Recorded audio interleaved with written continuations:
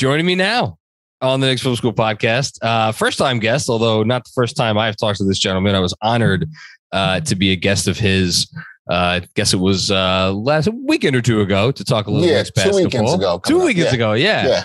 Uh, hopefully, we'll, we'll do that again soon. But for now, I get him for a little bit longer than he had me, which I'm very excited about. He is the weekend sports anchor for New York Post Sports and SNY, um, doing all of their TV video content. He also has a couple of podcasts, um, the NBA Exchange, in which he obviously talks NBA basketball, and Ain't Hard to Tell podcast. Um, I want to talk about both of those. Sure. My, my man, Dexter Henry, how are you?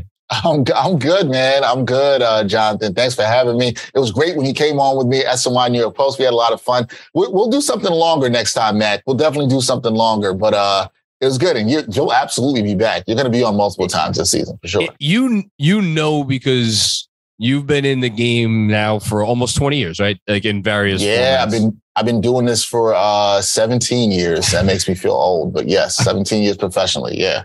Dude, I'm, I'm on the verge of a 40th birthday uh, which is to say the next birthday will be 40 so i that will be me next year. Next year, my birthday will be That's 42. we- so there you go. we talked about this so like you don't, you don't gotta talk to me about feeling old um no but like it's always interesting when you do whether it's writing or or if for like like you know speaking or whatever when you are used to flexing your muscles in one way and then you gotta like completely shift it up but like you're probably better at that than anyone by by this point because you've been you've done a you've done it all at this point Yeah, I've done a lot, man. Started my career in print, um, then moved to TV and you know doing podcasting, and so always talking and um, listening, watching other people do stuff too is where I get a lot of inspiration from as well. So yeah, I've been doing it for a while. It doesn't feel like that though, Jonathan. I know you probably feel the same way. That time just flies by. It doesn't feel that way, but yeah, I've definitely like you said, I've definitely uh, honed my craft, doing a lot of work, and and also doing a lot of it independently.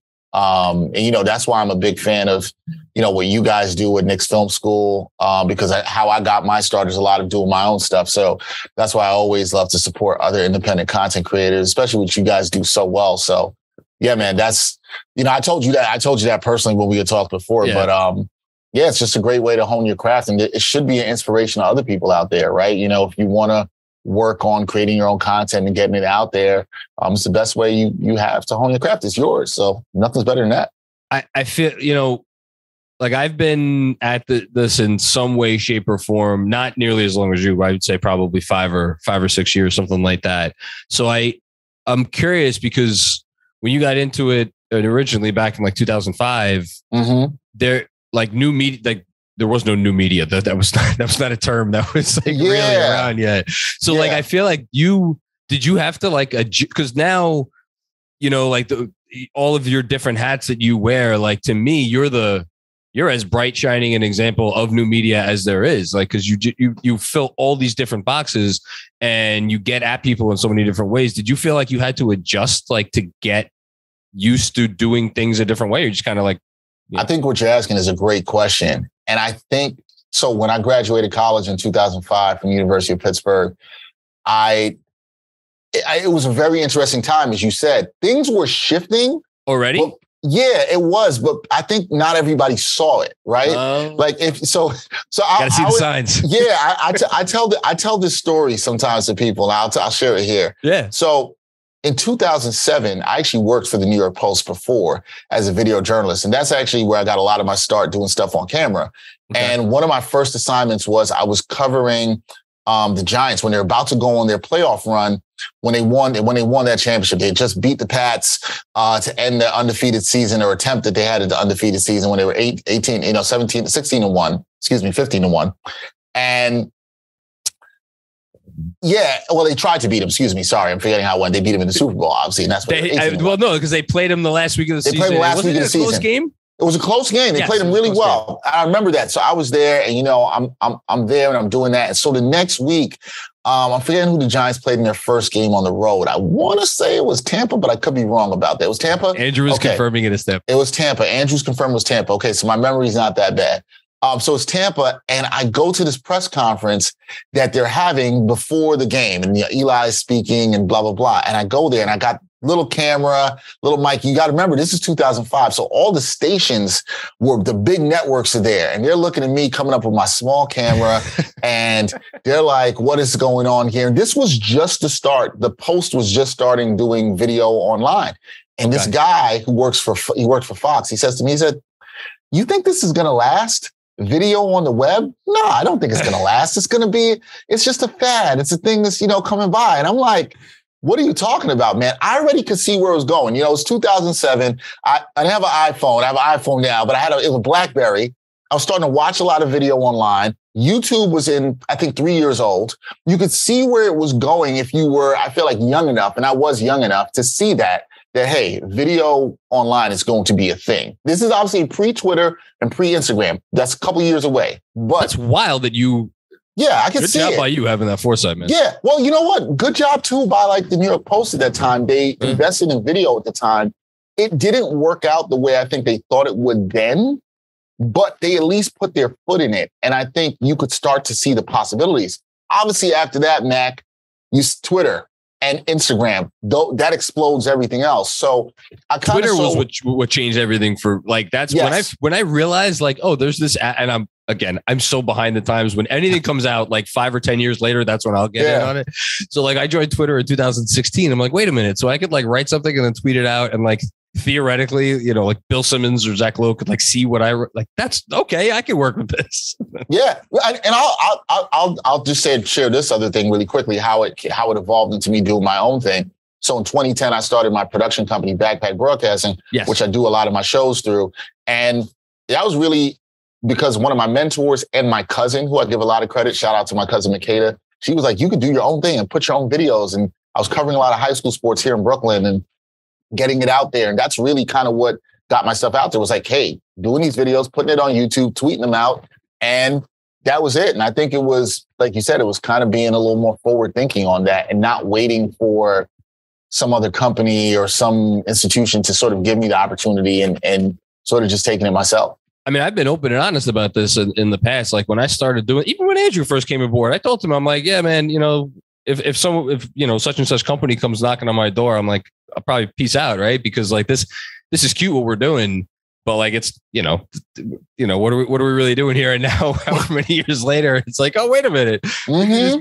yeah, you know, it's uh it's crazy how it how it's really evolved and and you've been evolved involving along with it. Yeah, which leads me to you were at the Knicks fan TV uh, party. At the, I was. Yes. Yeah, I was. And I saw I saw some of the video from that. Yeah. Um, I, it's first of all, again, it's so cool that like a like Knick fan TV is a fan gener. It's all about the fans.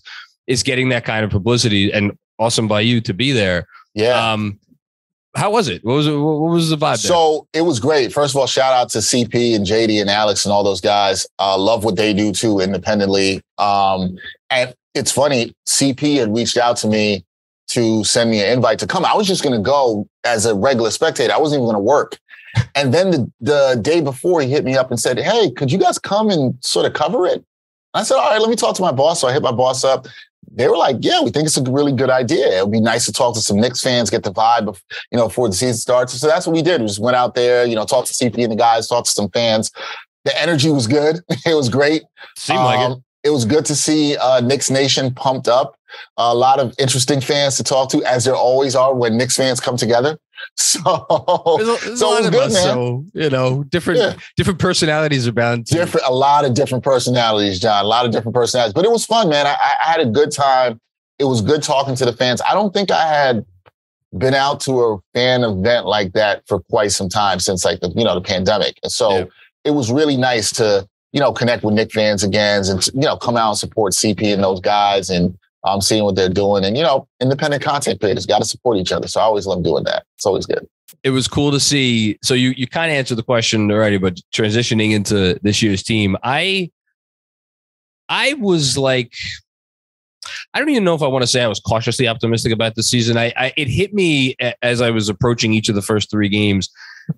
Last season left so much scarring on my soul, Dexter, that like I was like a happy go lucky, you know, going, you know, after the the We here season, like starting last year, and then slowly it became this thing where it's like, oh my god, this is painful. This is like not a fun thing. Did you get a sense from the vibe for the first game that like fans had were just like ready to move on, or do you did you get some of that same like trepidation? Like, are, are we going to be able to get past whatever last season was? Yeah, I got this sense of we've moved on. Um, the hives that exist, the Obi hive, the Cam Reddish hive, those that exist are very strong. I get, let me, when let did this happen? When did when did hi, like I. I, I, here wait watch this. I'm yeah. young enough to remember when you rooted for your team and just like that was it. You had a favorite right. player, right? You know, but it's like now it's all hives anyway. Yeah, the hives are real. They're they're really well, out there and they're real you know, as I was going around 40 40 and talking to different people and watching the games at different spots, you know, uh, listen, anything that Obi did, a lot of cheers, right? And I know you guys know about how some fans want Julius up out of here and they want Obi to get more playing time. You guys have talked about it. I've I've watched, I've written about it, I've I've read. Um, and Cam Reddish. There was a guy standing next to me who I was with for most of the probably most of the fourth quarter. And he kept saying every shot that Cam hit, that's my boy. I told you that's my boy. I told you he's gonna perform. You gotta give him more time. So anytime he did something, he just turned to me and he's like, you see, you see. I, I, it's like I never said Cam couldn't play, man. It wasn't me. I didn't say that. But yeah. But the, the, nice the vibes, the vibes were good, John. The vibes were good. good. And I think people have moved on and they're optimistic. And the last, I'll let you go in a second. I'm yeah. sorry. But the thing I think they're really optimistic about is Jalen Brunson. Okay. That was a consistent thing I heard, which was Brunson's here. We, we feel like we have a point guard. We think it can make a lot of things better. And, you know, so far it's three games, small sample size. But I, and the preseason, I, as we talked about, yeah. I think you're seeing some of the fruits of that. And so I understand why the fan base is excited in that way. I, I said it after the Orlando game, which was last night as we're recording this. I 1000% think they lose that game if Jalen Brunson is, is I saw I saw your tweet on that and I think I liked it and I agree with you. I agree with you. I, he's just, you know, it's, but it's like, it doesn't, not that it annoys me, but every, everybody's like, oh, the Knicks have a, finally have a point guard. The Knicks finally have a point guard. The way the league is today, oftentimes the player who is dependable in those spots is the point guard because the way the rules have evolved and it's, you know, it's a three point shooting league and the whole thing. They just need someone who can reliably get them a bucket and get them a sound possession at the end of a game when defense is tightened up. It you know, again, there are a lot of point guards who fill that role, and Jalen Brunson is one of them. But that's to me where it really what it comes down to, because like the year before, they had Elfrid Payton at point guard. I don't want to disparage Elfrid Payton, right? Um, you know, and then obviously Derrick Rose came in, but a lot of the end of game stuff, it wasn't all Derrick Rose. Like there was a lot of like going through Julius, and Julius was hitting shots. That's what changed last season. But I agree with you.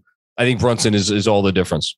Oh yeah, I, I, I think he's all the difference. And look, I'll, I'll be honest. Um, you know, when I first heard the reports about them signing Brunson, I was kind of on the fence about it, you know, but then I thought about it more and I looked at what they signed him for and, you know, how much that cost and where he's paid among starting point guards in the league, which is probably about what he is. Average. Yeah. Average. average. Yeah. Now, look, if he plays, outplays the contract, which you can argue to some degree already he has, right? If he con- continuously does that or he's borderline all star level, well, then the Knicks got themselves a steal. And look, yeah. the cap's going to go up. we know this in a couple of years. The cap's going to go up. So it's going to end up being a bargain if he continues to play at this level where he's not turning over the ball. Cause that's one of the most impressive things for me. He's not turning yes. over the ball. He's still very efficient, uh, hitting shots, especially in the mid range you saw last night again. I know we're recording this, but last night when he played, when they played Orlando, they, the lead gets down to, I believe it was six, uh, six. Yep. and he hits that mid range shot and gets fouled, gets to and one, and just how crafty he was, and to be somebody that can actually get that shot. Yes. You know, he's not going to turn the ball over, or at worst, he's going to find somebody else for a better shot. If you're a Knick fan, that's a play where you got to be encouraging. That to me is the moment that what you're talking about, Mac, and the fact that yes, they wouldn't have, they would have lost that game. It would have been a poor possession turnover, missed shot, not a quality possession. But the fact that he can hit that shot is huge. And and I think like you know I do this a lot where uh, uh you know fans will be like, you know, run your stuff. It shouldn't come down to one on one. It shouldn't come down to ISO. But meanwhile, you turn on any game in the last five ten minutes of a close game, like te- like teams, the stuff that they usually run, oftentimes goes out the window. It's like, Yep. it- who's your guy? Who's my guy? You know what? What can they get us? Um, who could bend the defense to their will? And and Brunson certainly is doing that so far. I, I agree with you. I think the conversation about his contract is over. And actually, you know, the Knicks, Brunson, Mitchell Robinson, Isaiah Hartenstein, three signings this summer, th- money they spent. I think all three look great. So, so for as much as Yep. you know, maybe the Donovan Mitchell trade, how it went down was like a little weird. Um, you know, looking and trying to judge the front office from that. I think the money they spend is good. I want to get back to Cam. um, what do you think happens here? Because we just got word uh, two hours before we started recording this that Quentin Grimes is going to miss another game. Yep. I'm starting because like I initially was like, oh, they're just going to keep Grimes out until you know someone else gets hurt, and like then could like to avoid this rotation question. And now with every increasing game, he he's out. I'm like, is this like a real issue? Mm-hmm. And then, but then I think back, well, if they, he comes back, then what happens to Cam? What do you think's going to happen with this? If you had to guess, Well, th- the first thing I'll say is I'm starting to wonder if it is a worse injury that's than Yeah. what we may have been led to believe or or and because they're being very cautious with which is fine. I'm fine with them being as cautious with Grimes as they possibly can. Now, here's the thing. Here's the thing, Mac. It's three games. Yep. Cam has looked good in two of them. He looked decent against the Magic. Yep. He was really good against the Grizzlies for half. for half. Yes. Yes. for half. First For half was so great. Let's not let's not go crazy. He's really good for a half. Um, I am not. Look, I'll be honest. I'm out on Cam Reddish. I've been out on Cam Reddish. Right. Wow. Yeah, yeah, yeah. I've been put it out- there. The Cam the Cam Hive is not going to be happy with me, but I've been out on Cam Reddish. Here's my when I say out, I want to clarify. yeah. Do I think he has potential? 'Cause I saw Andrew just perked up. He's like, I, I got to see what Dexter is saying. Do I he's getting the that, clip ready for social? He's all, he's all he's over getting ready. He's like, uh oh. Um, do I think he has potential? Yes. I think a lot of it is can he be, and he's looked a little better. Can he play in Thibs' defensive schemes? Is he not going to miss his assignment on rotations? Is he going to take quality shots with the shot selection? Lately, it's looked like that. Here's what it comes down to, because you asked me what it comes down to, Mac. All right, here's your moment. Grimes is Grimes is out. This is your time to shine. Either you get the job done or you do not. Right? It's really simple as that. Do I think he can? Sure, he can. He's got the tools. He's a talented player. If he does it, I think this is his last chance right here. You got to get it done. You got the chance. Andrew, I know you want to say something. Go ahead. John, just can I ask a quick question? You can ask as many questions as you'd like. Dexter, Yeah. why do you why do you hate Cam Reddish? No, I don't hate Cam Reddish. Don't try to get me in trouble. I don't hate Cam Reddish. I a- don't hate him. Don't say- we should tell him it's a bit. It's a bit. Anytime Oh, you have a mild amount you- of criticism toward a player, Oh, I got you. we got react on behalf of the overly sensitive. The overly Twitter sensitive mob. fans. And, Yes. and overly sensitive Why do you hate RJ Barrett for pointing out his blatant career stats of inefficiency? You know, you know, you know what? We, we're in this, and I'd like to say this. It's the first time I probably talked about this on a podcast, but I'd say this. We're, we're in this time with team stuff where fans, some fans, I won't say all fans, some fans are really sensitive.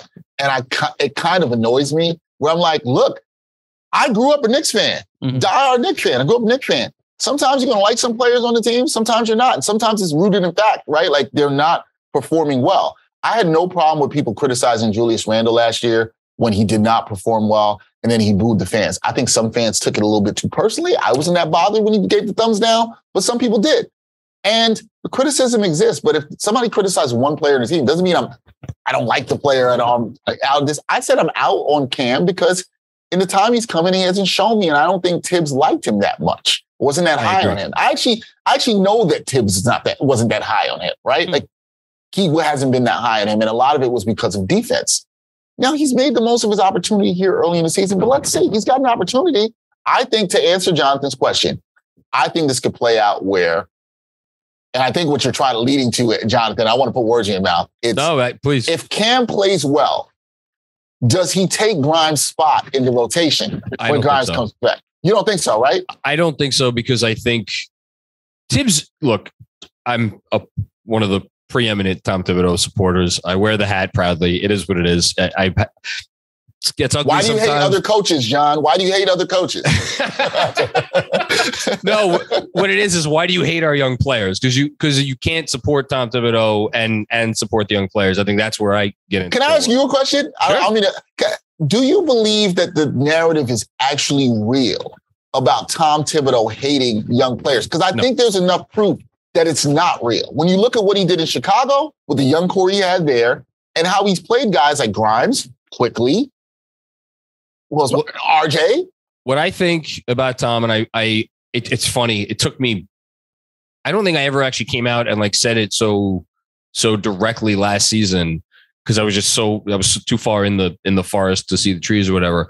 It it like crystallized for me if maybe a few weeks before this year started, the season started, where Tom Thibodeau likes certainty, and I think most hmm. coaches like certainty. They like the sure. If there are two possibilities, and the and one possibility maybe has a slightly higher ceiling, but the other possibility has a higher floor. I think most coaches in the NBA, at least, I don't maybe other sports as well, will go with the higher floor option. And I think Tom believes so much in his system in terms of defensive system. And it's like if you get me the talent on offense, I'm going to do what I'm going to do, and I'm going to get you a lot of wins. And by the way, you know, two seasons he had great teams in Chicago, like best winning percentage in the league for those two years. But I digress. I think Mhm. that's, and I think with Grimes, the reason you're always going to see Grimes gets minutes is the floor there is high because he's dependable on defense and he's, we think, probably going to knock down shots on offense. With Obi, like, yeah, there's this fun world that we all like to live in sometimes. It's like, oh, imagine what he could do with 30, 35 minutes. I mean, I talk about it all the time. And like, what could that offense look like? Like, boy, wouldn't that be fun? But it's an uncertainty. And the reality of it is like the floor with Obi is also lower because of the things that maybe he's not as as sure thing. Which leads me back to Cam. Yep. And I think it's fascinating. And I think it's a fascinating test case because Tom may be stubborn, but he's not stupid. And he knows that if this dude hits and keeps growing and keeps getting better, well, that's a game changer for his job security or you know prospects that like to where he's going to take this Knick team because like they just don't make that many players who are whatever he is six eight two you know and can move like that and has those skills. I'm fascinated by it. I don't I don't know who goes out of the rotation. I I was saying last night, would it shock you if Fournier was like a healthy scratch? Like if Grimes is back, like would that shock you? I- I mean, it wouldn't shock me? In fact, I might say this. I think it would be the right move. I would argue it it, actually, it actually would be the right move, right? I don't know if it's going to happen, but if you see enough, let's say, let's say Grimes comes back second week in November. I have no knowledge of this. Please do not say that I'm reporting this. I'm just throwing this out. aggregators get your You know how the aggregators do. Let's say he comes back second week in November, right, guys? And Reddish to that point has played well. He looks competent on defense, been knocking down some shots, playing well in a good role off the bench. And Fournier, who's not been, he's been, eh, he's been Evan Fournier. yeah, he's been Evan Fournier. Like, I, I'm not mad at it. I'm not hating on it because then you're gonna get people out there saying, "Why do you hate Evan Fournier?" Why Um, do you hate Evan Fournier? I, I, I just hate. I just hate all the players. Um, but let's say that happens, and you're and, and Tom Thibodeau. Let's say Tom Thibodeau, an organization, makes a decision to say, "Hey, you know what? We're going with Grimes. We're going with Reddish here." I don't want to hear from the Knicks fans saying that they're not in on the young players, which I also think has just never really been true, right? Like I've never really bought into that. Thibs hates the young players. I, I've never bought into that completely. If that happens and they go in the direction, I think it's the best direction for the team. If it's it's it's allowing the team to build with the young core and giving them some versatility because you have options where you can play Cam at the three, you can play him at the four sometimes, depending on what happens. There's a lot of switchability with him, especially if he buys into the defense and we see what's good for him. So yes, if that move happened, Jonathan, I would be in full support of it. And listen, I don't think any of us really hate Evan Fournier. We're just like, like if you could drive him to the airport tomorrow and to get him up out of here for a trade, most people probably would. the, I'm the saying. thing I I agree. What I wonder is whether the front office would like if a team called them tomorrow, and to be very clear, I don't think any team is calling them with this tomorrow, and being like, "We'll give you," and the, the other part of it, there's not that many of these contracts out there. Mhm. What I'm about to say, but like, we'll give you this expiring contract of veteran X who is not like will come to your team and is not going to be deserving a rotation spot for the remainder of Evan Fournier's deal. Um, do I think the Knicks would just say, "All right, fine, we, we will we will give you this player who is a undisputably better player than what you are giving back to us. It's not even going to get us any cap room this summer. Hell, you could say, you know, a, a, guy with like two years left on his deal, um, just to get off the money, just to get him out of here. I, I wonder whether the front office would do that, which kind of gets back to a critique I had of them over the summer, which is like it seems like there's different people rowing in different directions, and there's a, mm-hmm. a lack of a cohesive vision. But I, I don't know. I wonder if they would do that and the other thing, you know, to be fair to Evan Fournier, he's still the best shooter on the team, right? Like that's still the thing. And the Knicks are not like they have a dearth of shooting. Yeah, no. they're not like chock full of shooting no. on the roster here. Um, and so that's something I would worry about. Now, look, if you believe that Grimes is the guy that can get out there and hit the shots, and you know, let's not go crazy about what we saw in summer league this year. Although I like, I'm, I like Grimes. Okay, I was drinking all the Kool Aid. Yeah, yeah, yeah. I, I, like Grimes. I'm high on Grimes. I, I, I like it. I like his two way ability. Um, and so all that. I, look, here's the other thing too, though, that we have to think about. If Reddish continues to play well, well, it's only good for the organization because now his value goes up. Yeah. Just in the offseason, everybody was like, well, you can't move Reddish. There's nothing you could do there. Well, now he's another asset because he's been getting some burn and people are seeing what he can do. And if he plays at a better level, it just only helps the Knicks. And for that, and I'm sure we'll probably get into this, the next future star that everybody thinks well, is going to come a bit rumored to the Knicks. Let's yeah, let's let's get into that now because you as, you as I said, you host um a general NBA podcast as well. Yeah. So I, I, I was excited because I knew I could talk to you um, about NBA, other things. Yes, yes, about other things. Uh, NBA Exchange, by the way, everybody go check that out. Um, I find the beginning to this season very interesting in that like even before the year started, I think you, you know, and shout out, you know, Zach Lowe has said this on his pod. Um, like God help these teams that are trying to win that lose to any of these, you know, your San mm-hmm. Antonios, mm-hmm. your Utahs, your, you know, go down the list. And guess what? There's already been a bunch of those sorts of instances. And like when there's so many teams trying to win, it gives me the sense that this might be one of the wilder and wackier years in the NBA with lots of like unexpected stuff. I'm approaching this to the point that you just made, the question you just raised, like nothing would surprise me in terms of like if you gave me the name of like player X, is like, oh, player X is unhappy. I mean, some guys obviously you're you're gonna be like, no, that's that's not possible. But like, mm-hmm. there's a mm-hmm. lot of there's a lot of situations out there that I already you could keep an eye on. Yeah, I mean, we can go right down to I ninety five to Philly. I was waiting to see if you were going to take bait. And uh, you know, listen, I'm not. Listen, I, and I've watched all of their games this season, at least most of all their games this season. And look, if things don't get right there, Embiid could say, "Look, I've been through the process. You guys got me Harden. This isn't working. We know about the. the I, I still am not sold that in my hometown of Brooklyn that everything is okay uh, over there. Uh, ha- still- can I ask you? Uh, uh sure. Sorry, I, so you cover the Nets and the Knicks because you're, you know, you're the weekend guy and yep. both teams. Like, if they are not good, or let me rephrase that, they're they'll be they won't be bad, but like if they're if they're like eh, right?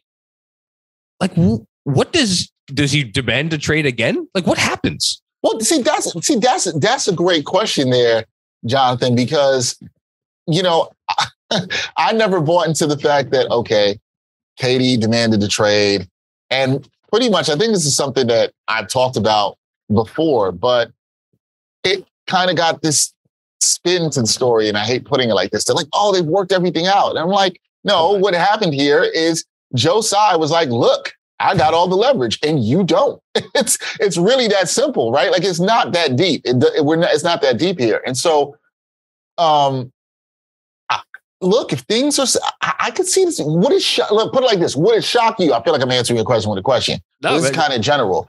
I don't think it would shock anybody if they were blah, meh, whatever you want to say, and it's mid to late January, and you start hearing rumors of a trade request again. especially when there are concerns. When I was watching their game, I've watched all their games as well too, because I'm an NBA junkie. I'm watching all their games, and they have defensive issues. Ben Simmons won't shoot the ball, which I think is a problem. It's I've been saying it's a problem. In, in the National Basketball Association, where the goal is to Yes, the goal is to score. the ball Yes. the basket. Yes, it's a slight problem. Look, the, the point the point being to all of this, right? To whether you're talking about Brooklyn or Philly, or I'm now trying to scan and think of another team where somebody, well, the Lakers, they've got their own dysfunction there, right? I'm. I mean, yeah, we, we haven't talked about it. Yeah, that's. I mean, and Russ, we should talk about a recent injury report. Apparently, Russell Westbrook is doubtful for their. I find uh, that I find that injury in, injury interesting. I'll say that. Find it interesting. one word for it. Um, yeah, but like, there's, you know, and I think it, but it does. I think we're we we've asked so many questions about, and we we talked about it on this pod a lot, like player empowerment and like what are the limits to it? Are there limits? And you know, so on and so forth. I, it's going to be really interesting because the other thing about Durant, like with LeBron, like these guys are old or older, Right, older. Mhm. you know it's not like they're young young guys so like how how much pressure you know does that change how much pressure they could exert like again we don't really know the answers to these questions Yeah, it's it's all interesting. I mean, you also could look at obviously Shai Gilgeous-Alexander is another name that's been brought up with the Knicks, uh, with OKC, and they're playing. How much longer does he want to be part of that rebuilding situation where there's a lot of losing? Uh, there- there's a lot going on. Chicago, DeMar DeRozan. Uh, you know, if Lonzo Ball doesn't come back this year and where they are, it, it- there's a lot of interesting stuff. And you never, you're right. With this year being so tight, I can see the Yeah. trade deadline being insane. With there being a lot of competition, you don't know how things are going to go. And I was I heard Zach Lowe's podcast when he made that point. You lose a bad game, you lose a game to a projected bad team early in the year where you're trying to do something. It's going to be a concern. I even talked about this with the Knicks last night. I was concerned about this week. oh my looking god at the Knicks. I said, you you've seen this before, guys.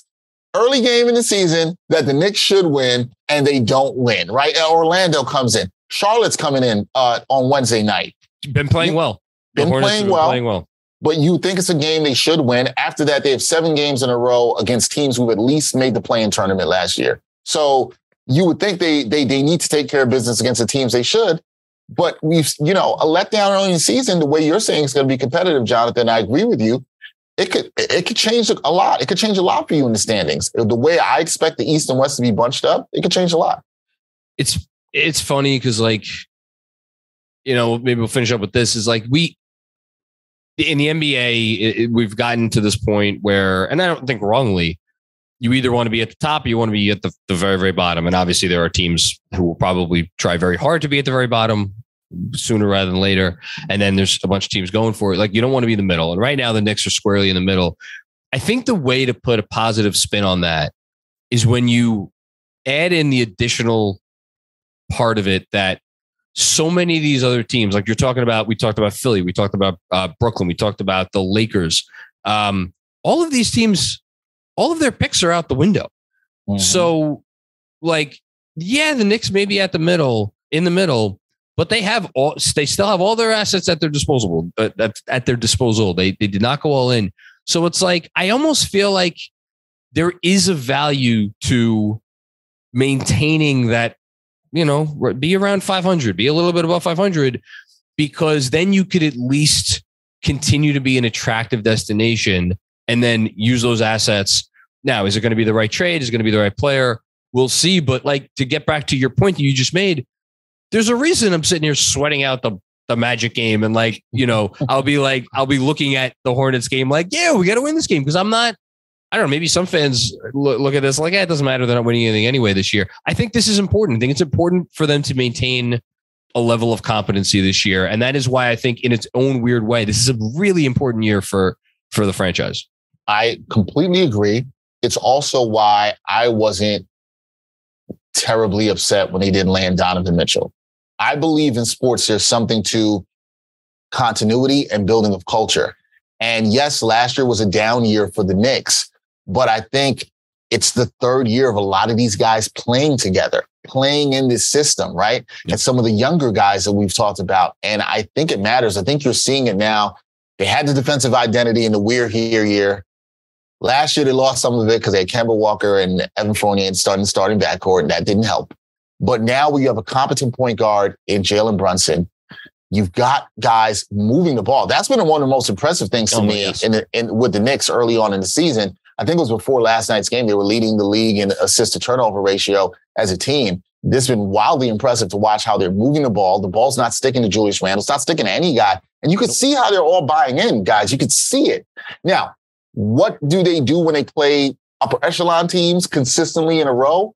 We'll see. So they've only played one in Memphis. We'll see what happens there. But I think you're right, man. There's a lot to if here's the thing. If you're gonna be in the middle, what they call NBA purgatory, which some people will argue that's what the Knicks are, if you're going to be there, you know where you want to be there? With some young players and some assets. Yeah. That's what eh, you don't want to be in the middle when your cupboard's bare. That's what you don't want to do. But when you've got some stuff in the cupboard, now you can start cooking if an opportunity comes Well, up. And, yeah. That's what made the the um to talk about going back a few few years. The Scott Layden Knicks so depressing because like Oh, that man. those were like you know high thirties whatever win teams, and it's like Yep. there's no young talent to speak of that. But then it gets back to what we started talking about at the beginning, which is like there's that's why these hives are there, and that's why there are people out there who are like, unless this player plays a certain number of minutes, like not that I don't care, but like it's going to sully what otherwise would be a good win. And I, I, I get that. I do get that sentiment because again, they are trying to have their cake and eat it too, and that's not that's not easy. Um, you know, but you talk about vibes, you talk about culture, you talk about all that stuff. Like everybody has to believe that the coach is doing everything he can to win games, right? Like that's that's ultimately why I always defend Thibodeau because I think everything he does, everybody in the locker room, they may not agree with him, but I think they believe that he believes everything he's doing is like in the in the best interest of winning. And I don't know if that matters, but that's always Yeah. my my thing. Yeah, I mean, I, you and I are on the same page with that. And the thing I always I say to other fans who talk to me about this and people I've encountered is, have you heard anything coming out from the young players saying that they don't like Thibs, or have you heard anybody crying about minutes? No, we haven't heard this at all. And this even comes from beat writers and people around the team that I've spoken to about this, and other people I know around the team. No, that's not the case. This is actually a very good locker room with a very good culture. Um, and so you, you're not hearing that. And I think those things are positive. I just think somebody who's grown up a Knick fan and still roots for this team, I think there's just so much pain and scarring for a lot of fans that anything that happens, they're like, oh man, this is going to be bad, right? Like, That's real though. I yeah. And I get that too, though. yeah. I can't kill those fans. I, I, I get it. I I'm one of those understand it. fans sometimes. Yeah. Like, I mean, you know, ma- I ma- think the you, worst. Yeah, you know? you and I, you and I being of the same age, Yeah. you know, we grew up watching these '90s Knicks and love those teams Yeah. and how hard they played. And you know, I think what if you if you're a Knick fan that really wanted this team to be good, I think what you probably wanted to see, which I which I actually believe we've been seeing over the last two plus years, is that you're seeing a culture develop and an identity develop, and I'm hoping that that turns into something really good. so am I. Um, you know, and and I think the coach has a little something to do with that that culture. I'll, just, I'll, get, I'll get one more compliment in there to, talk to Tom Thibodeau. Got to, had to. Andrew's Can I probably going to cut that in post. Totally. And I'm going to cut it together with you saying something derogatory about Thibs, probably. Um, Dexter, can I actually ask a question? Yeah, John and I were talking earlier today um, with Benji, uh, Ben Redholtz, who does a lot of film work for us. And we were discussing the idea of hives. Like that's come up a couple times, obviously, throughout this conversation. And seeing as how you've been online as long as you have, do you think it's always been like this, or is this a new phenomenon? I know you mentioned that we're more sensitive than we used to, and I think the internet in general, with having opinions and making sure they're heard, is more active. But Yeah. like, were we like this? Because I remember the Alonzo Trier hives. I remember the I remember- Damyean Dotson hives. Yeah. I go back as far as the Landry Fields hives. I was part of the Landry Fields hive. I was part of that hive. We were tell all part of that. hive. well, I was part of the go get Carmelo Anthony hive. So I was in a different world where I wanted the guy. Right. So has it always been like this? you know? Yeah, I think it's always been like this, right? I just think it's social media has amplified it, so it it, it seems a little bit louder than what it is, right? Like I even I even remember my dad when I was watching games with my dad growing up. My dad was always like, "Why don't they give this guy more minutes? Why isn't Rolando Blackman getting more minutes? Why isn't Anthony Bonner?" Everybody is always in love with the guy that's not getting burned. It's kind of like the backup quarterback in the NFL, right? Like everybody's in love with it. And I'm not saying you shouldn't be, because sometimes you're right. But I do think there's this element. I wonder, Jonathan, I wonder how both you guys feel about it. There's still this element, I think, around a lot of fans that, well, I'm smarter than Thibs. I'm smarter than this coach. I'm smarter than that coach. And that element exists out there. And sometimes I'm like, look, man, there are some terrible coaches out there. Don't get me wrong. there, there are. But a guy like Thibs, as Jonathan mentioned before, who's got a proven track record, who you've seen do a lot of things. And I think people ignore a lot of the development that he's done with younger players, which is wildly unfair. Come on, this guy's won in this league. He knows what he's doing. Has he had some rigidity? Sure. Is there things that I could be would like to see a little bit better with the team offensively? Absolutely. But he's a good defensive coach and he gets a lot out of his team. And he's, I don't think he's an idiot. I think he knows a little bit about what he's doing and how to put players in the right positions to uh, succeed. I'll say, I think, in regardless of your walk of life, the more success you have, the harder it becomes to admit that you might be wrong or you might not know everything or that there might be a better way or a different way that is worth doing. And again, I don't think that's just something with NBA coaches. I think that's yeah. you could point to literally any profession. I mean, gee, look look at Russell Westbrook right now. I mean, talk right. about a guy who's having trouble admitting like, you know, this because it's worked for me before, it can't work now. Again, that's neither here nor there. So I I think there that there is a certain amount of fairness to again critiquing Thibs from that specific angle where, where I where it gets under my and this is maybe just something personally we've me and Andrew have talked about it a lot on and offline is like the the blatant like this is this man is like stupid or like this person yeah. should not have a job because like how how it is so obvious like xyz like how could you not see it?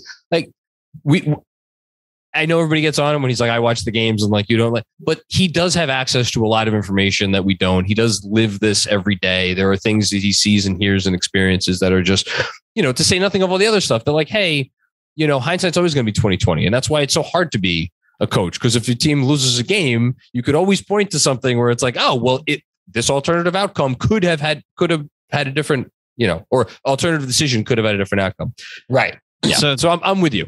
Dexter, yeah. you, you just got a, a snapshot of a lot of conversations we had last. Oh, it's a lot, really? Okay. Yes. So lot, where John a lot, a lot. passionately defended the head coach. Now we've had the dust has settled a bit. We're in it's in the past. We're all in year year three of this, and quite enjoying watching the Knicks play basketball. To be completely honest, yeah, um, and and that's the thing. I hope we, I hope fans can just enjoy watching the team. Enjoy. I, seems fun. I, I think I do. try to. Yeah. I try, as I get older, I try to enjoy the journeys more with the teams that I watch. Just like not.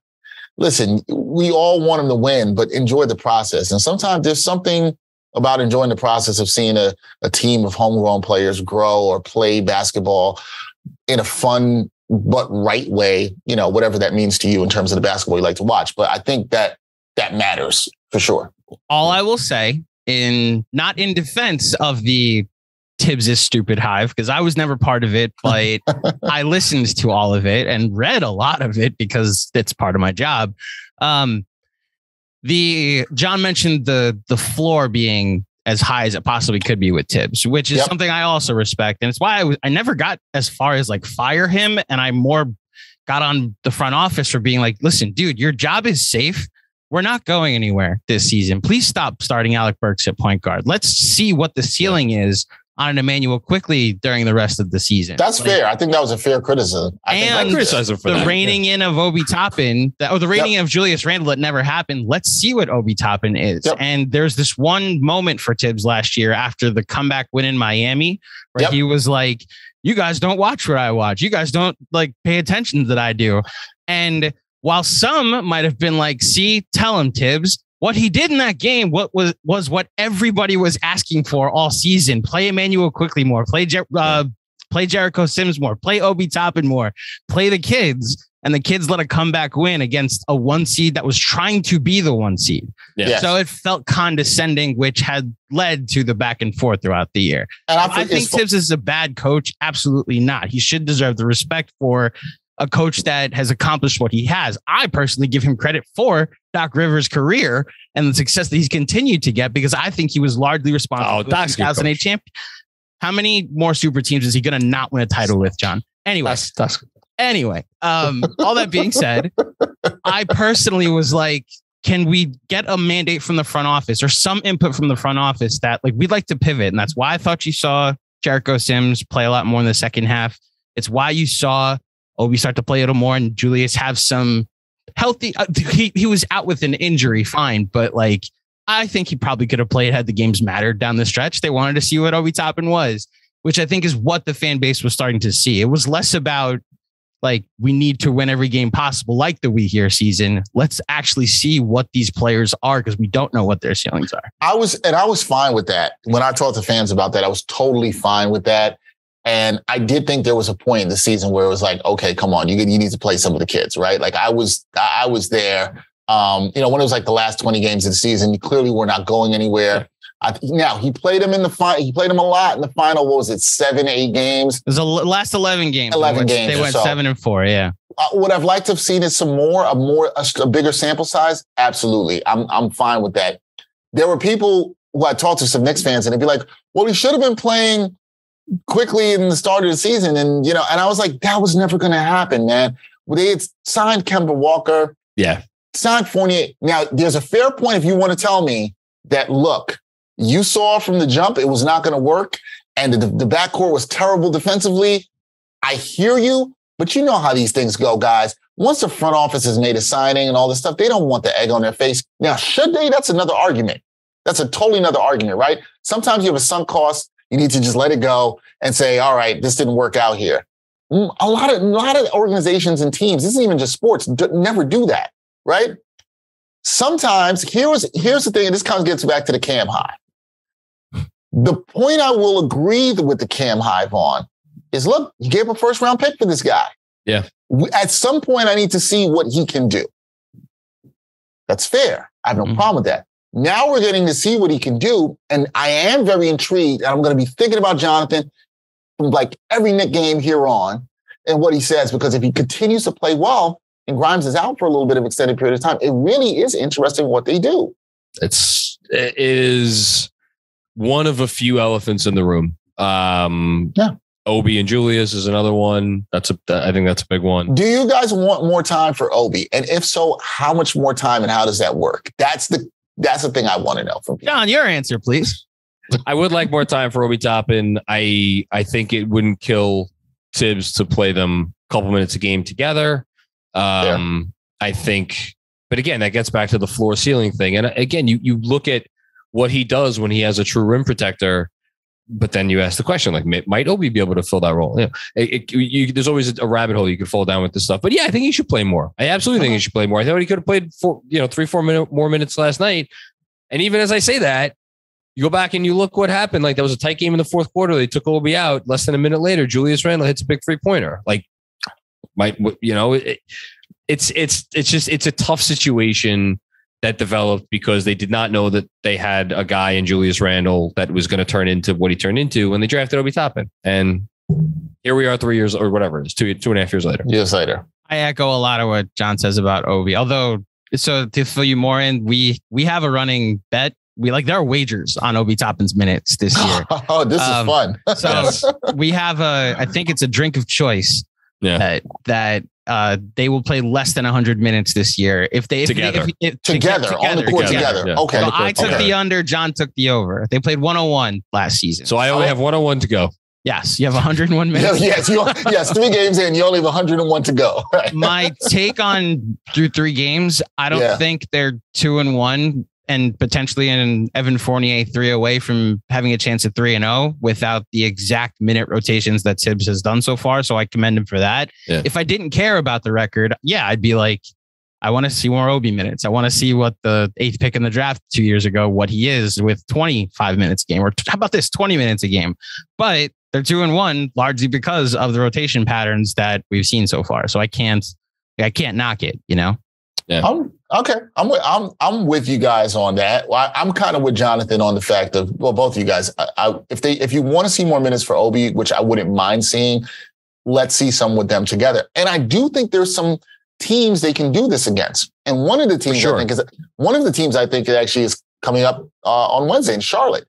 I think that's a team where you can go a little bit smaller and you can run with that team and the way they even want to play a little bit faster. I would like, I think that's the thing I'd like to see. Will Thibs experiment with more lineups for different scenarios during the season, right? Like that. Let's see Obi at the five and Julius at the four and see what they can do together. Just try it. Even if it's four, even if it's four minutes for one game, like let's see it. Like it'll be nice to see it. Let let's uh let's finish up with this. What what do you think? I don't even want to ask for like a record or a seed or anything like that, but like mm-hmm. six months from now, whatever, April, May, do you think this next season will leave a overwhelmingly positive taste in the mouths of most most fans, or do you do you think it will be a mixed bag, or do you think it will be in the in the negative? It won't be positive for the fans that uh, want to see Obi Toppin play more minutes. Probably not, but no, but no, seriously. Um, I think it'll be overwhelmingly positive. I actually, I do. I, I I think that I think that Knicks fans are going to come out of this season and I think they're going to be very impressed continuously by what they see from Jalen Brunson. I think they're going to see what we've already seen, which is Julius Randle more in the role that works for him, where he doesn't have to handle the ball as much. And I think they're going to see some cohesiveness. I have this, I haven't said this publicly yet, so I'm saying Ooh, it now. There we go. School, saying it. I think the Knicks are going to be a bit better than even what I think the most level-headed Knick fans are projecting them for. A lot of people have said 42 to 44 wins, which I generally agree with. And I think you said the same when you came on with me, Mac. Um, I think they might do a little bit better. I think they're wow. Want to put a number on it? you said better than 42 to 40. Right, yeah, I'm gonna say I'm gonna say 46. Oh! I'm gonna go with 46. Yeah. I'm gonna go. Thank you, thank you. Forty-five win predictor at the beginning yeah, I'm going, before the season. I'm going with forty-six. Right there with you. I, there's something. I, the, one of the things I see, and I know it's early, but the thing I keep coming back to this. The thing that I'm liking, the defensive intensity is there.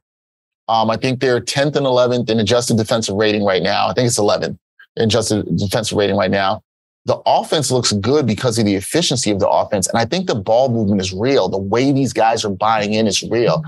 That's something I think to keep an eye on as they get into tight situations and games, how that works. Do they still buy into it? If that's sustainable, guys, I think you might come out and say, hey, this is a really good team that plays cohesively together. I think if the Knicks fan sees that at the end of the season, it's been a good season.